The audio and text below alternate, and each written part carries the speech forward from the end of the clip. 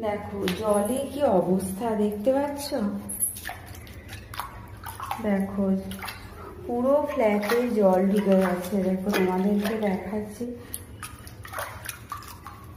পুরো জলে কি অবস্থা দেখো, পুরো জল ঢুকে গেছে।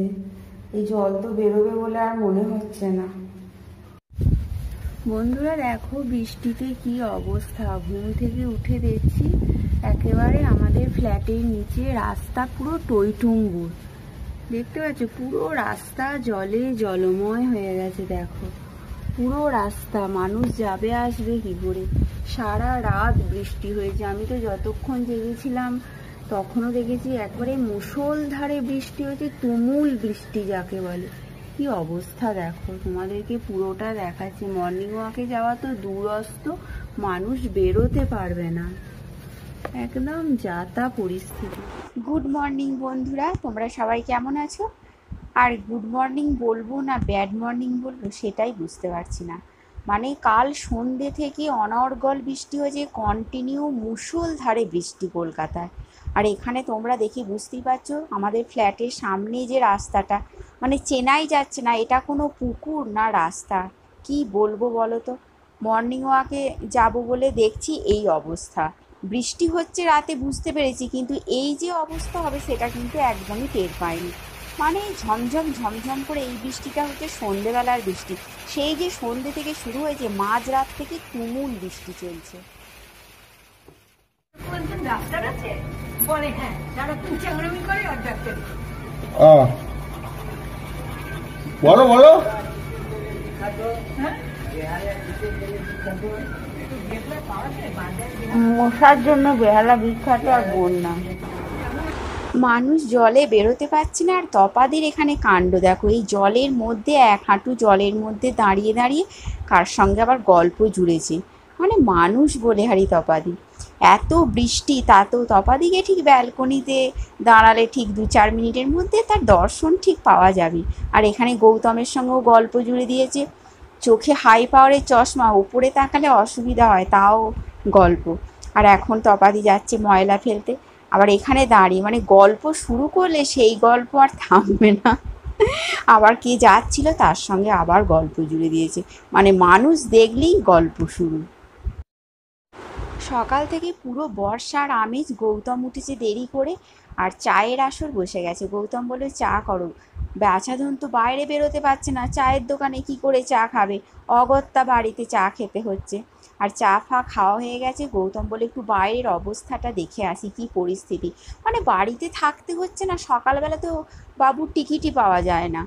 বাড়িতে থাকতে হচ্ছে মানে হাঁপিয়ে উঠছে, কষ্ট হচ্ছে আর কি। আমি বললাম, যাও যাও, বাড়িতে পরিস্থিতিটা মানে বাইরের পরিস্থিতিটা একটু দেখে এসো, কতটা জল নামলো। আমাদের ফ্ল্যাটে কিন্তু এখনও যেমন জল ছিল, সেই রকমই জল রাস্তাতেও এখনও জল নামেনি। তো বাইরে গেল, আর আমি ততক্ষণে বিছানাটা অন্যদিন কি হয় মর্নিং ওয়াক থেকে আসার পরেই আমি গুছিয়ে নিই। আর আজকে তো ওই মানে অগোছালো নোংরা বিছানাতেই চা খাওয়া হয়েছে। তাই আমি ভাবলাম, এই যে চাদরটা দেখছি, এই চাদরটা না ভোরবেলা আমার একটু ঠান্ডা ঠান্ডা লাগে, সেই জন্য আমি গায়ে দিই। এর জন্য গৌতমের কাছে আমাকে অনেক মানে প্যাক খেতে হয়, অনেক কিছু শুনতে হয়। কিন্তু ঠান্ডা লাগলে আমি কি করব বলো? গায়ে তো একটা কিছু চাপা দিতে হবে। তাই বিছানাটা গুছিয়ে নিচ্ছি। আর আজ থেকে না তোমাদের সঙ্গে একটা শেয়ার করব ভাবছি। না শেয়ার করব ভেবেছি আর কি, সেটাই আজকে তোমাদেরকে বলব। এতদিন সংসারে যে আমার রুটিনটা ছিল না, আমি আজ থেকে বেশ কিছুটা চেঞ্জ করলাম। সেটাই আজকে তোমাদেরকে দেখাবো এবং চেঞ্জটা অলরেডি করতে পেরেছি। এবার এটাকে আমায় সারা বছর কন্টিনিউ করতে হবে। যেটা ভাবছি সেটা তোমাদেরকে বলব। পুরো ব্লগটা তোমরা আস্তে আস্তে দেখতে থাকো, তোমরা নিজেরাই বুঝতে পারবে যে সংসারের কি কি আমি রুটিনটা চেঞ্জ করলাম আর কেন করলাম। কেন করলাম তার মূল কারণ হচ্ছে আমার হাতে যাতে অনেকটা সময় আমি পাই। কারণ দুটো আমার চ্যানেল আছে, সেগুলো এডিটিং করা, নিজেরও একটু রেস্টের প্রয়োজন আছে সব কিছু মিলিয়ে মিশিয়ে একটা সিস্টেমেটিক ওয়েতে যাতে সংসারটা চলে সেই জন্য।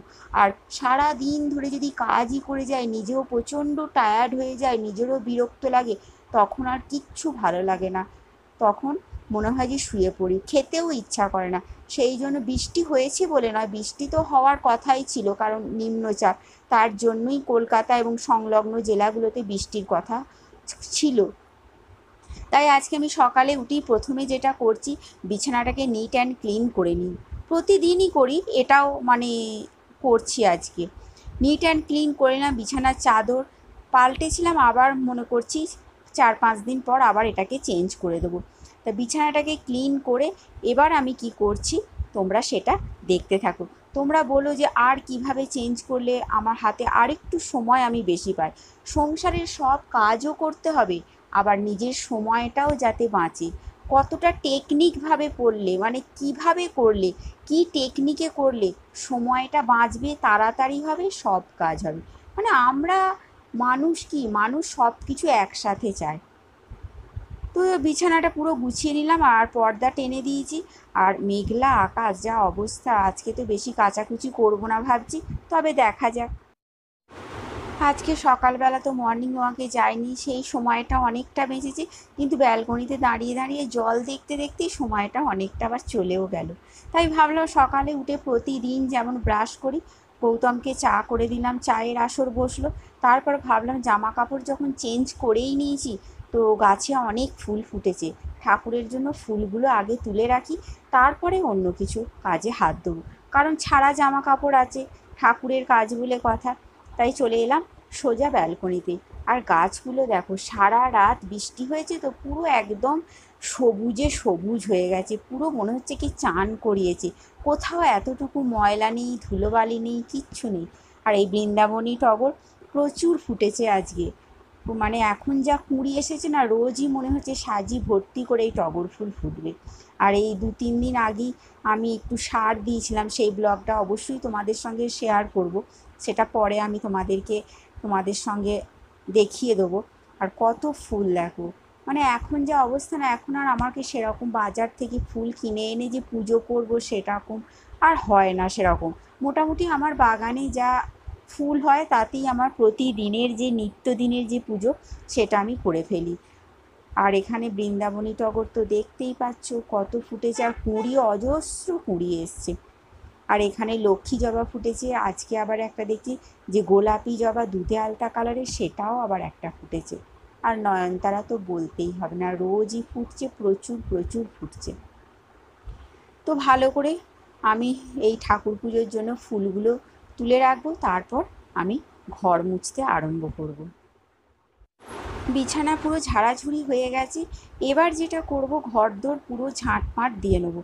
আগে কি করতাম? আগে সোজা সকালে রান্নাঘরে চলে যেতাম। রান্নাঘরে একটার পর একটা কাজ করতে করতে সমস্ত গোছাতে, টোছাতে আমার মোটামুটি একটা থেকে দেড়টা বেজে যেত।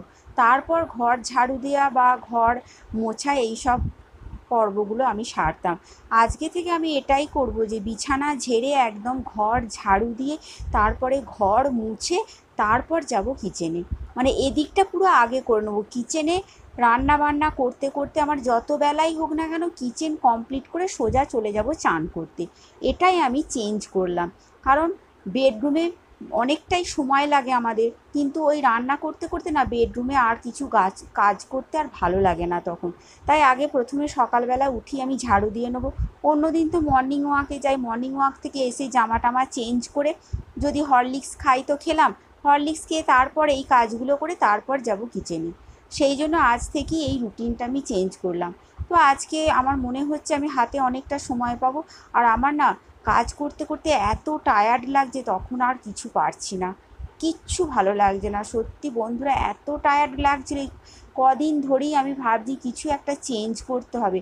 কারণ দিনের পর এইভাবে কাজ করতে করতে আমার শরীর আর দিচ্ছে না। মনে হচ্ছে যেন আমি বোধহয় কত দিন মানে বিছানায় শুয়ে আছি, কত রুগ্ন, এরকম টাইপের মনে হচ্ছে। আর এই ঝাড়ু দিতে দিতে আমি ভাবলাম, গৌতম তো অফিস যাবে টাইমটাও হয়ে আসছে। আর ওর জামা কাপড়গুলো বার করে আমি প্রত্যেক দিনই যেটা করি, যেগুলো পরবে বিছানায় আমি রেখে দিই। কারণ ও যদি চান করে এসে ওর যেখানে জামা কাপড় আমি শোকেসে রাখি, যদি বের করতে যায় না, তখন টানা টানি করে উল ঢাল করে তার একদম পিন্ডি চটকে একদম রেখে দেবে। তার থেকে বাবা আমি যেমন পাট পাট করে ভাঁজ করে রাখি, যদি বিছানায় ওর সকালের পড়াটা আমি রেখে দিই, তাহলে ওকেও আর খুঁজতে হলো না, আর আমারও আর কাজটা বেশি বাড়লো না। সেই জন্য এগুলো রেখে দিচ্ছি, তারপর আমি ঘর মুছে নেব।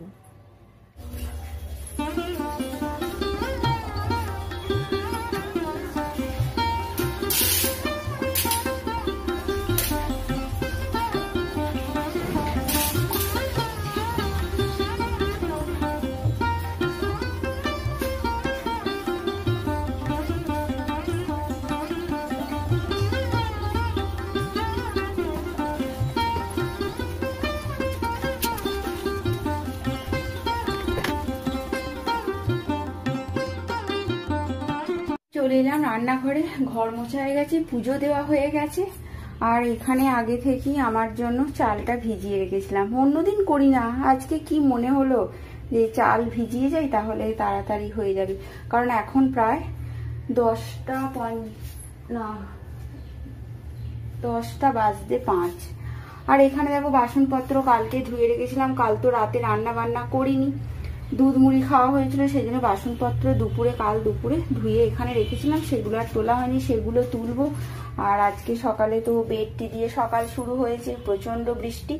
তো গৌতম বলল যে, তাহলে চা করো। চা করে এগুলো ধোবো। আর রান্নাঘরে মোটামুটি এগুলো মোছা টোছা সব হয়ে গেছে। একদম পরিষ্কার পরিচ্ছন্ন করে নিয়েছি। এবার এবার কি করব? বাসনগুলো ধুয়ে নেব, চায়ের বাসনগুলো আর এখানে ভাত চাপিয়ে দেবো। তারপর তো সারাদিন তোমরা সঙ্গে আছোই, দেখতে পাবে আমি কি করছি, না করছি। রান্না অনেকটাই কমপ্লিট করে ফেলেছি, ভাত হয়ে গেছে, আর আজকে না ভাত বসিয়ে মনেই ছিল না। গৌতমের সঙ্গে গল্প করছি, আর দেখি এদিকে ভাত গলে একদম পায়েস হয়ে গেছে। যাই হোক, ওটাই খেয়ে নেব। আর এখানে চলে এলাম।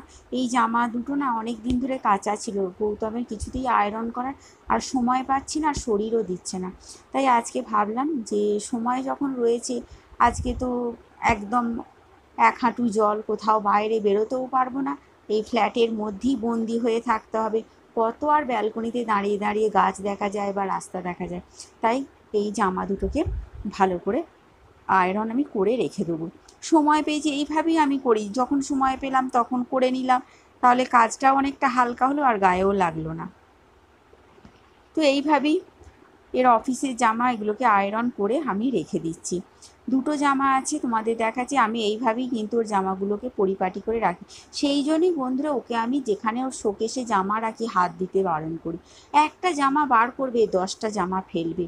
কার ভালো লাগে বলো তো? মানে মাঝে মাঝে রেগেও যায়, আবার মাঝে মাঝে হাসিও পায়। তো এই জামাগুলোকে আমি আয়রন করে নিচ্ছি। এরপর আরও একটা যে জামা আছে, তোমরা দেখতেই পাচ্ছ বিস্কুট কালারের একটা জামা রয়েছে, এটাকেও আমি আয়রন করব। আর ওদিকে আমি রান্নাঘরে ওখানে কাঁকরোল, যাকে আমরা ঘি করলা বলি, সেটা ভাজতে দিয়ে এসেছি। ভাজতে মানে কি? নুন, হলুদ মাখিয়ে আমি রেখে দিয়েছিলাম, সেটা একদম গ্যাসটাকে সিমে করে দিয়ে এসেছি। ওদিকে ওটা হচ্ছে, আর এদিকে আমি আয়রন করে নিচ্ছি। তো চলো বন্ধুরা, সারাদিন সঙ্গে থাকো, দেখতে থাকো আমার ব্লগ। আর যদি তোমাদের ভালো লেগে থাকে, অবশ্যই বন্ধুরা কমেন্ট করে জানিও। একটা কমেন্ট আমাকে না অনেক বেশি এনার্জি দেয়, অনেক বেশি উৎসাহ দেয় ব্লগ বানাতে। তো চলো পরে আবার তোমাদের সঙ্গে কথা হচ্ছে। মাত্র দুটো জামা ছিল গৌতমের। তো জামা দুটো আয়রন করা হলো, ভাঁজ করাও হয়ে গেছে, সমস্ত কিছু কমপ্লিট হয়ে গেছে। এবার এই আয়রনটাকেও ঠিক জায়গায় বক্সে ভরে আমি রেখে দেবো। আর গৌতমে যেখানে জামা কাপড় থাকে, তোমরা তো জানো শোকেসের মধ্যে থাকে এইখানে। তাই আমি ওই জামা কাপড়গুলো পুরো আলাদা আলাদা করে রেখে দিই। একটা থাকে রাখি অফিসের জামা, আর একটা থাকে রাখি জিন্স, আর একটা থাকে রাখি আমি আন্ডারওয়্যার। আর পাড়ার যেগুলো পরে, সেগুলো কিন্তু সমস্ত আমি আলাদা করে রেখে দিই। এইভাবে আলাদা আলাদা করে রাখলে আমারও কাজটা অনেক সহজ হয়। আর খুঁজতে গিয়ে কোনোটা মানে যে এলোপাথারিভাবে খুঁজতে হয় না। ঠিক জায়গায় থাকলে ঠিক জায়গায় পাওয়াও যায়। এই দেখো, এই শোকেসের মধ্যে প্রথম যে রোটা রয়েছে, এখানেই আমি ওর জামাগুলো মানে অফিসের জামাগুলো ভাঁজ করে রেখে দিই। সব কিছুই হয়ে গেল মোটামুটি। এবার হচ্ছে দুপুরের খাওয়া দাওয়ার পালা। দুপুরে দেখো, মেনু হচ্ছে আমার কাঁকরোল ভাজা করেছি, আর এখানে আছে কুমড়োর তরকারি। এটাই খাব আজকে। আর রাতে খাব ইলিশ মাছের ঝাল দিয়ে গরম ভাত। দুপুরে ইলিশ মাছ খেলাম না, কারণ ইলিশ মাছ আর বেশি নেই, তিন পিস আছে গৌতমের জন্য। রাতে আমি দু পিস দেবো, তাই দুপুরে আর খেলাম না। আর দুপুরে আমার খেলাম না, রাতে আমারও এক পিস আছে। এটাই আজকে আমার দুপুরের মেনু আর কাঁকরোল ভাজাটা আমার ভীষণ ভালো লাগে। গুড ইভিনিং বন্ধুরা, আর এখন বাজে নটা, প্রায় দশটার কাছাকাছি, দশটা বাজতে পাঁচ। তাও গুড ইভিনিং বললাম। আর এখন আজকে বুঝতেই পারছ, দেখি এটা মাছের ঝাল করছি। আজকে রাতের মেনু হচ্ছে ইলিশ মাছের ঝাল আর ভাত। আর সন্ধে থেকে তো একা একাই আছি, একদম মনটাও ভালো নেই। আর বিরক্ত লাগছে একা একা থাকতে থাকতে। তাই তোমাদের সঙ্গে একটু শেয়ার করলাম, আর আজকে ইলিশ মাছের ঝাল হবে আর ভাত। গৌতমকে বললাম, যেহেতু ইলিশ মাছ আছে তুই ইলিশ মাছ খাও তুমি আজকে। তাই ঝাল চাপিয়ে দিয়েছি এখানে। এটা ভাপা করলাম না, ভাজা আছে যেহেতু, সেই জন্য। খাব একটু পরেই, খাব, দেখি ও কখন আসে, দেয়া দেখা যাক। তারপর দেখছি। এই তিনটে মাছ ছিল, আজকে মোটামুটি ইলিশ মাছ শেষ করে দিলাম। এটা চাপা দিয়ে দিই। আর এখানে এই যে ফ্যান ঝরিয়ে নিয়েছি, ভাতও হয়ে গেছে। আর যে কটা বাসন ছিল, টুকিটাকি বাসনগুলো মাজা হয়ে গেছে, এই যে এখানে বাসনগুলো সব রেখে দিয়েছি। আর কি বলব, আর দুপুর বেলার চচ্চড়ি একটু ছিল, সেই চচ্চড়িটা এখন খাবে কিনা আমি জানি না। যদি খায় ভালো, না খেলে আমি কালকে খেয়ে নেব। আর এখন কি আর বলব, তোমাদেরকে এই হচ্ছে দুপুরের বলি, সবসময় দুপুরের বেরিয়ে যাচ্ছে, মনটাও ঠিক নেই। এটা হচ্ছে রাতের মেনু আছে বন্ধুরা, ব্লগটা। খুব একটা আজকে সারা দিন মানে বাড়ির মধ্যেই ছিলাম, তাই বাড়িরই ব্লগ দেখালাম তোমাদেরকে। আজকে আর বিশেষ কিছু দেখাতে পারলাম না। ইতিমধ্যে রাস্তায় জলও নেমে গেছে, অনেকটাই নেমে গেছে রাস্তায় জল। আজকের মতন ব্লগটা এখানেই এন্ড করছি। তোমরা সবাই খুব ভালো থেকো, সুস্থ থেকো। আবার আসছি নতুন ব্লগ নিয়ে। আজকের মতন বিদায় নিচ্ছি। আবার দেখা হবে তোমাদের